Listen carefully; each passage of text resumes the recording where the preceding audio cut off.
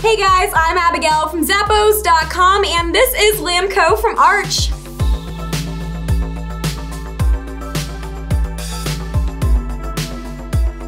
Upgrade your wardrobe with these shoes. They're crafted with a soft and smooth leather upper, and they're available in so many different colorways to choose from.